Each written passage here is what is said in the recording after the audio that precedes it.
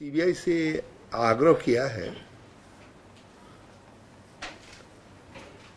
क्योंकि आप दल बदल की जाँच कर रहे हैं तो इस जाँच में जितने भी पात्रों के नाम आ रहे हैं